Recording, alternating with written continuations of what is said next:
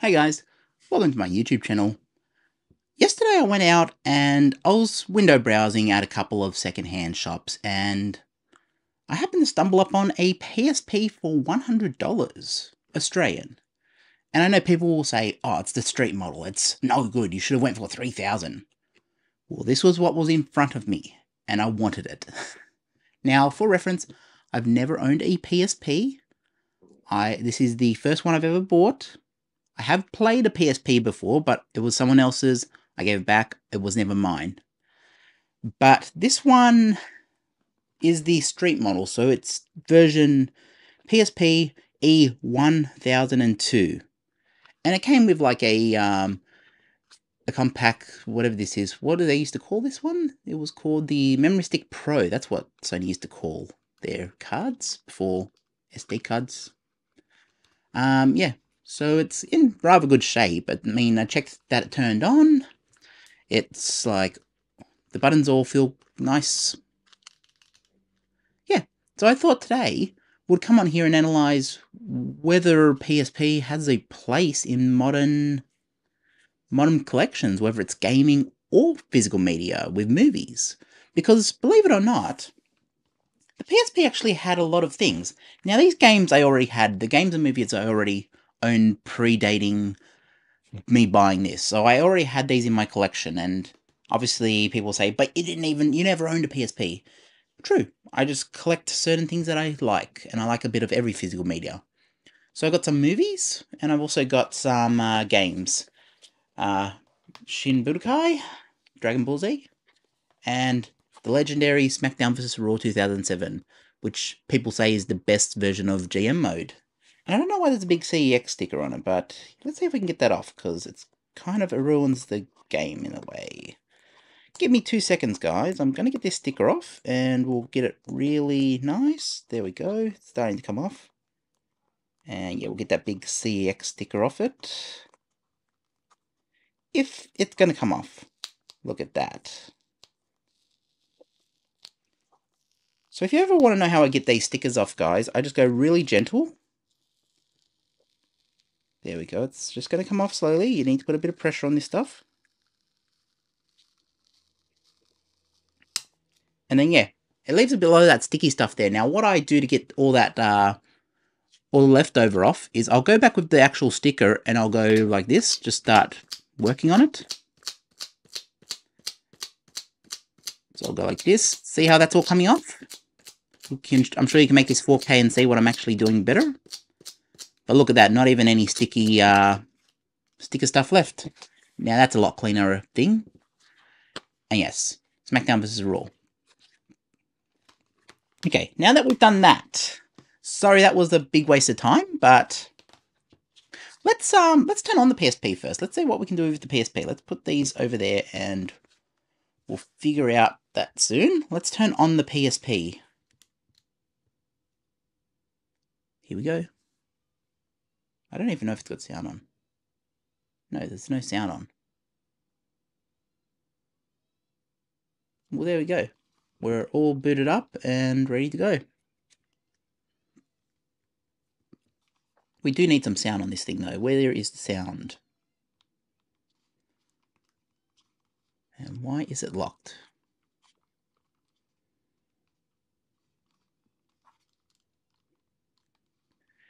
Bear with me a moment, guys. You know I don't edit these videos. Well, I do edit them. I put them through an editor, but... I mean, like, I don't do any hardcore edits like jump cuts and throw a bit of this in there. There we go. That's looking a bit better now. So yeah, PSP. Alright, let's put let's put a movie in there. We've got three options to choose from. We've got Spider-Man, iRobot. Let's put them in front of me so you can see the options. Let's start with Spider-Man 2, one of the best Spider-Man movie I've movies ever made. Let's put that in first.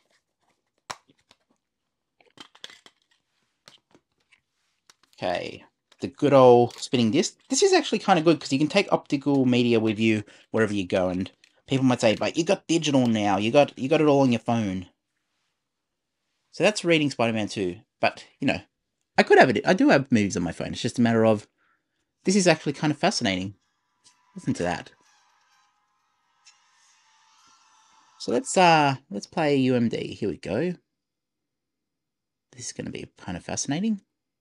I haven't done this yet. I, I've really only just like turned it on, checked that the battery worked, made sure it charged. I may have put in, I think, iRobot for 10 seconds just to make sure that the disk drive was reading, but it never actually played. So it's kind of fascinating to me to see this, to see what it looks like, how it works. Wow, you've actually got subtitles on here as well. Okay, subtitles? Yeah, you have subtitles. You have audio, you have different audio options, obviously, English and Spanish. And then previews. You have Spider-Man 1 preview. So let's check out the preview. So obviously, it's got the rating system from America on it. Listen to that spinning disc.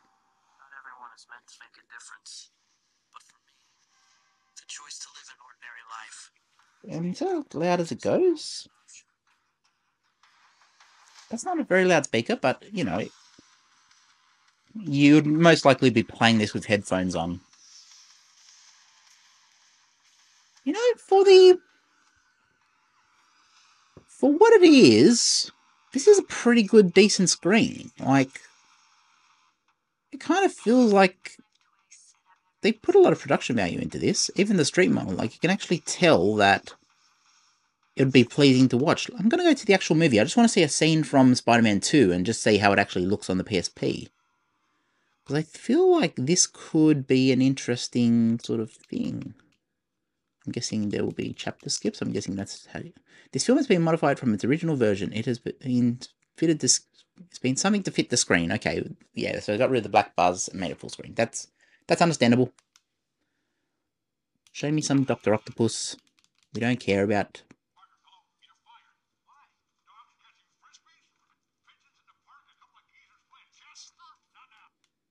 this is actually kind of really good. Wow, okay. With some light there in the park here, you can actually see that the screen reveals a bit of uh, detail. Like, it's really decent. Like, wow.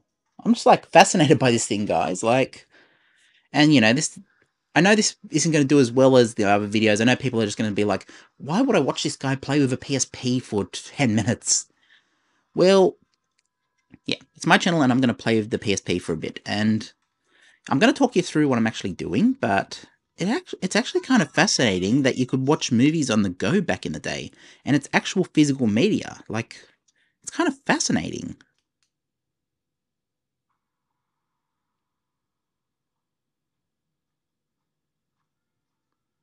Everyone's favorite scene on Spider-Man 2. Everyone's favorite. Let's put that sound right there. They need to bring this guy back for the new Spider-Man trilogy.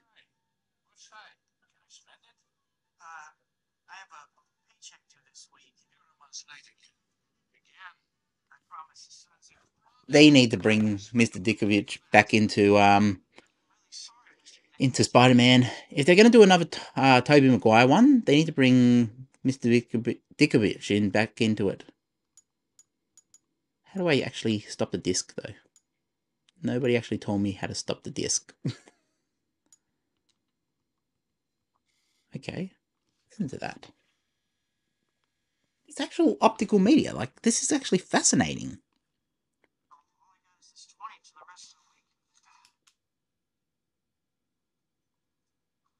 Okay, I need to I need to like get outside of this now, so let me how do I actually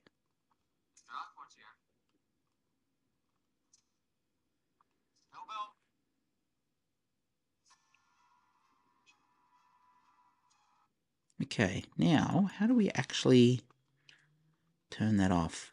I can hear it still spinning, so I'm going to wait till it stops spinning before I open it. That sounds like it stopped spinning now. Let's take that out. I don't like to risk damaging the things. Even if it's something like UMD, I'm still not going to risk damaging it. So, yeah. I mean, the best thing about the UMDs is that Sony actually, I believe, figured all this stuff out. Like, that's why they're in a pretty protective layer.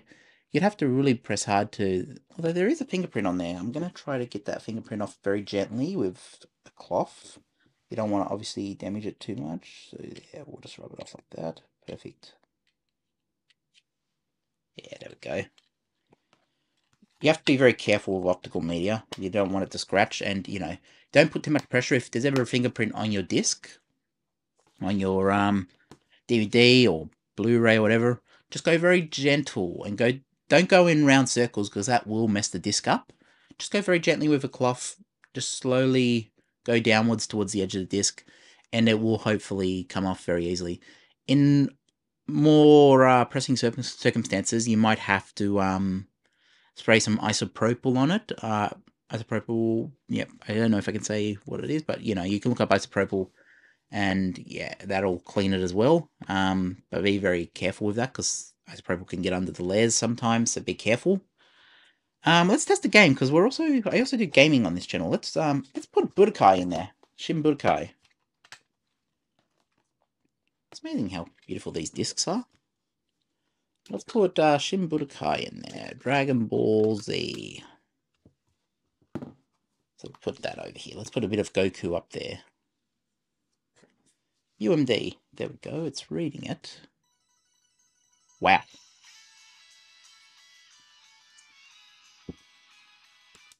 So let's open this. Wow. Okay. That's kind of jarring. I pressed the button and within a half a second it was already booting up.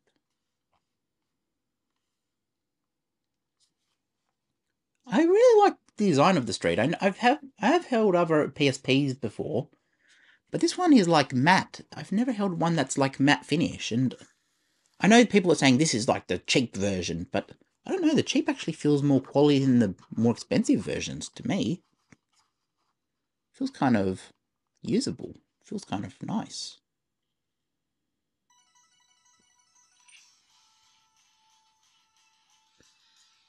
Look at that intro screen. So, let's start the game. I'm going to play my first my first PSP game I mean, I have played a game before on one of my relatives' PSPs, but I've never actually played a match of this. Let's put in my name. We'll just put Jamie in there.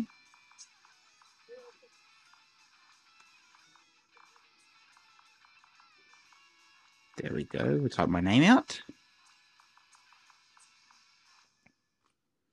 Okay. How do I actually do okay now? Yes. Okay, there we go. Keep gain data. Yep, we want to do that. New data. Yep, saving. Doing its thing. Save complete. Cool. We're in business, guys. Back. Yep. We just want to do arcade. We just want to do an easy fight. Dual time. Let's go 120. Rounds. Let's go one round. We just... There we go. Or two rounds. I think I put two rounds.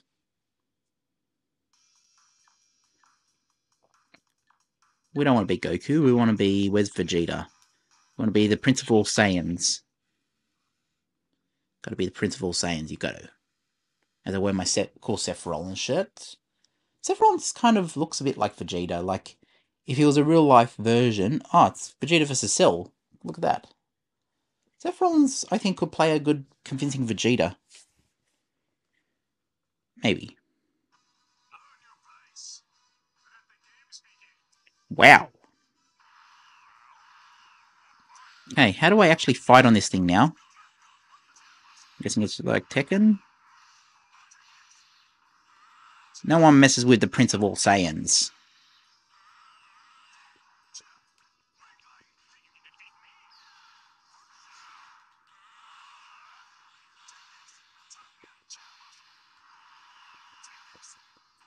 Cell is getting beat up. Wow. This is actually kind of fascinating, guys. This is like almost PS2 graphics. I don't know if they've done something to get the PS2 performance out of this, because this would have existed around the time as PS3. So it's kind of amazing. Okay, I've KO'd Cell. That's a good sign. Look at that.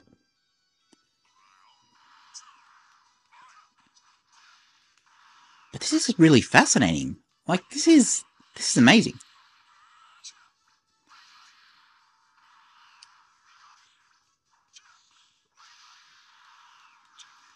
Okay, I need to beat Cell again. Give me two seconds, guys. I'm just going to beat Cell up, because we don't want Cell to destroy the planet, so I'm going to beat the poop out of Cell. Give me two seconds. Vegeta, no one messes with the Prince of All Saiyans. This is what he should have done in the Cell Saga. He should have really just beat up Cell. Why is he? Oh, he's out of thing. He's out of uh, stamina. Okay.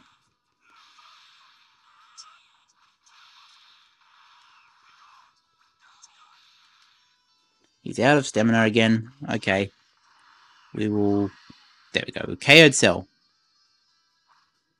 You win.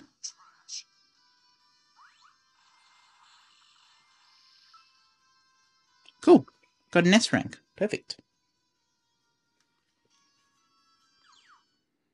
Okay, we've done our one fight. Let's uh let's turn this off now. Uh, I don't want to. I don't know what's restarting. Round two. I don't know. We're just gonna turn that off now.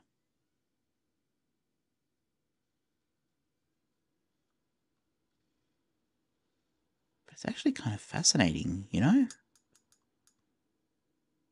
Wait for that disc to stop spinning. Can you hear that?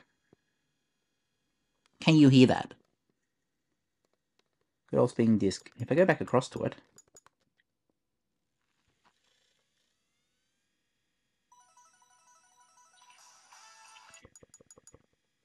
kind of fascinating. Wait for that to stop spinning again before I take it out. I don't want to damage the disc. There we go, it stopped spinning. So does the original PSP have a place in 2024? That would be an interesting question to end this video on. Well, look. Obviously, there are digital versions of these things that came out way later. I think this would have been towards the end of its life run anyways. The best thing about this is that you have access to optical media. As we put that there. You would have access to optical media. We'll put this on the game setting. There we go. So yeah, there are better options. But if you're a fan of physical media like me, I mean, it's got a disk drive in it, a really small disk drive that plays UMDs.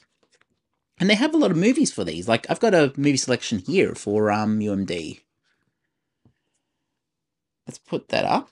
I'll do this. We'll do a fun thumbnail. We'll put, and let's put some SmackDown vs. Raw. Let's make this thumbnail really interesting. I like doing thumbnails in these videos, guys, because, you know, you know, it's a bit of a fun time if I put, like, you know, I like to do them in the video so you feel like you've actually been a part of the thumbnail, like I'm not BSing or whatever. Like, you've seen what I've done here. But let's do this. We'll point at this and we'll show, like, movies. We'll do, like, some funny thing. What do you think of this for the thumbnails, guys? I'm so cringe, ain't I? I think we've got it. I'm just going to make you uncomfortable. Just going to sit here for a bit longer and point at that. Yes, that's a PSP, Jamie. That is a PSP. Okay, we've held the pose long enough. That was a five second pose, as Edge and Christian would say. Edge and Christian are in AEW now. Like, it's kind of weird. You know, I don't really watch AEW. They kind of ruined that company for me when, um, I won't get into AEW right now because, yeah, I don't want to make the wrestling fans who are a fan of that angry. I don't understand the tribalism with AEW versus WWE. I mean, don't get me wrong, I thought that AEW did some really good stuff, but I mean, these days it's kind of stale to me. It's like, oh yeah, don't get me wrong, they have Okada, they have all this other stuff, but it's like, you're telling me they can't do something intriguing with Mercedes Moné? You're telling me they can't do something, well, they've done something intriguing with Edge, or what he's called now, Adam Copeland. But yeah, it's like AEW is a bit weird. But anyways, enough about AEW. So, what does this have a place in 2024? Well, definitely. Um, if you're looking at the disc version like this one, I just came past this for hundred dollars and was like, yeah, I have to have it. Well, definitely, it still has a place. I think um, it's definitely got some playability. It's got a disk drive. I mean, you can get these things without disk drives, and they'll last way longer. Uh, spinning disk obviously drains a lot of battery. There's the compartment. I don't know if you can actually see in there. No, you can't. But, yeah, I really like this purchase. I think it was the right decision. Yeah, I, I think this was the right choice. I think I made the right choice buying this thing. And I know everyone's not going to agree. They might say, why would you choose this over a DVD or a Blu-ray? Well, look, it's it's optical media on the go. It's uh, physical media on the go. And people will say DS. DS didn't have movies. This did. And it's optical thing. And you could say portable DVD player. Yeah, portable DVD player, I'll get your point with that one. But this was actually something you can play games on as well. Like you can this has multi it's multi-layered than just movies or games. It's like you can do both. Or I'm sure you can install stuff on it. I'm sure you can. You can jailbreak these things. But I'm not going to jailbreak mine. I like to have it as pure as possible an experience. And yeah, I think this is. I'm happy with the purchase. And yeah, if you enjoy watching, like, subscribe, drop a comment, notify. I don't know. Click on the ads, maybe. I get a bit of, ad revenue now, so I don't know. Click the ads. I might be able to buy some lights eventually. that's that's terrible. I'm not going to make that joke. I am going to look at buying lights eventually because these lights on top of me, they're ceiling lights and they look kind of not too good in these videos. They they do add a bit of light to the backdrop, so I will I do enjoy them, but I am looking at it at upping these video qualities. So, yeah, thank you for watching, and I hope you'll join me in the next one. Peace out, and yeah, if you want to buy the PSP, doesn't hurt to have one if you can get it cheap enough. Like I got this for hundred dollars, like I said it was cheap enough. I'm happy with my purchase. You'd have to obviously you'd have to obviously make the choice whether you can you can justify that cost. I know we are in a cost of living crisis and a rental crisis and a housing crisis and every other crisis you can think of, a food crisis because the duopoly in Australia with the supermarkets. But yeah, if you can justify the cost and it's worth it for you, um, I'm always going to recommend optical media, physical media. So this is why I went with the disc version rather than try to track down a um a digital version or like a beta or something. I just wanted the original optical drive and this offers it to me.